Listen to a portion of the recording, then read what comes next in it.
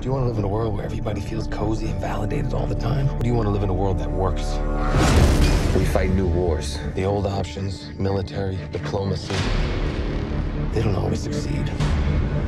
Sometimes you need a third option. That's Overwatch. According to the government, we do not exist. We're ghosts. But we are very real, and we get shit done. Only going to outline this one time. Nine pounds of radioactive isotope is missing. It's enough to make six major cities uninhabitable.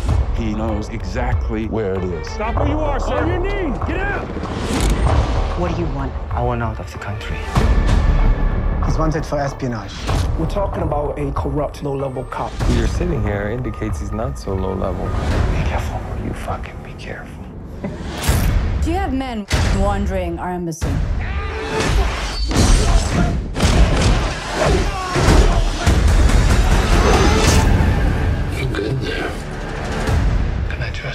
Put me on a plane to the US and I'll give you everything. Mind state of a gangster from the 40s. To go. This is an Overwatch operation. The goal is deliver that package to here, mile 22. Look, you know the game this is. Take a drive. Pray guides me by what I'm about to go through. They got bikes, Dougie. Pray, cause I can't cheat death.